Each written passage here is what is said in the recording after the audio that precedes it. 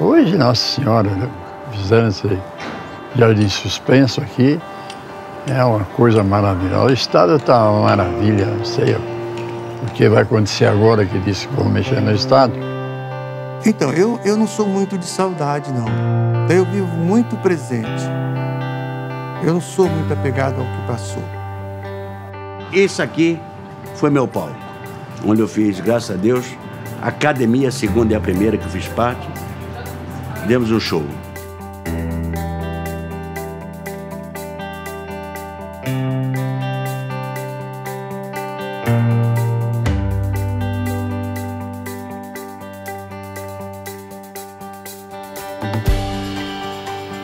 Estou de volta! Hoje, literalmente voltando. Estou de volta ao estádio do Palmeiras.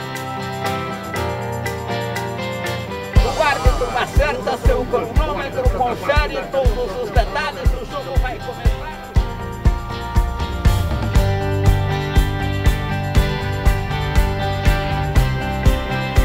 É uma história, né? E a história é verdadeira, não é mentira.